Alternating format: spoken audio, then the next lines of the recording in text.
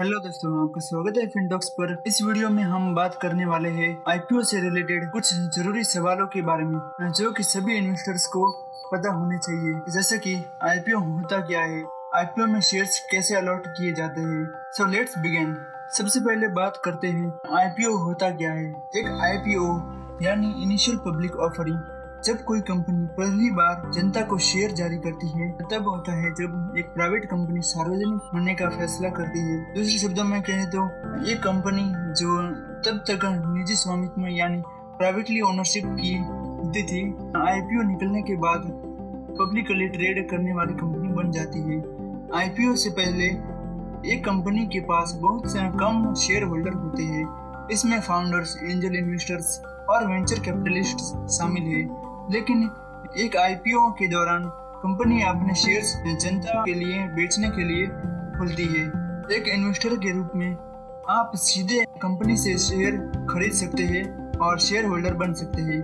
Share holders बनने से पहले ये समझ लेते हैं कि कंपनी आईपीओ शेयर्स अलोकेट कैसे करती है? जब आईपीओ की बात आती है तो अलग अलग इन्वेस्टर्स कैटेगरी होती है, जैसे कि qualified institutional buyers non institutional investors retail individual investors में सभी कैटेगरीज के लिए शेयर्स का अलोकेशन अलग अलग होता है। इनमें से आप रिटेल इंडिविजुअल इन्वेस्टर्स की कैटेगरी में आते हो एक व्यक्तिगत निवेशक यानी इंडिविजुअल इन्वेस्टर के रूप में आपको दस हज़ार से लेकर पंद्रह हज़ार रूपए के छोटे लॉट में निवेश करने की अनुमति होती है।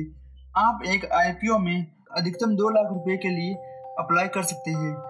रिटेल कैटेगरी में शेयरों की कुल मांग को प्राप्त आवेदनों की संख्या से आंका जाता है। मतलब टोटल शेयर्स डिमांड को जितने एप्लीकेशन रिसीव हुए उस पर जज किया जाता है। जब शेयर डिमांड अलॉटमेंट यानी जितने शेयर्स अनाउंस किए हैं, उससे ज़्यादा होती है तो उसे ओवर सब्सक्राइब कहते हैं। कई बार किसी आईपीओ को पाँच गुना ओवर सब्सक्राइब किया जा सकता है। इसका मतलब यह है कि शेयरों की डिमांड सप्लाई से पाँच गुना ज़्यादा है। ऐसे में रिटेल कैटेगरी के शेयर लॉटरी के बेस पर इन्वेस्टर्स को ऑफ़र किए जाते हैं। ये सभी प्रोसेस कंप्यूटराइज प्रोसेस से होता है, जो निवेशकों को शेयर का निष्पक्ष एलोकेशन इंश्योर करती है। तो दोस्तों, आज के इस वीडियो में बस इतना ही। ये वीडियो आपको कैसा लगा? और आपको कोई भी डाउट हो तो हमें कमेंट सेक्शन में बताएँ।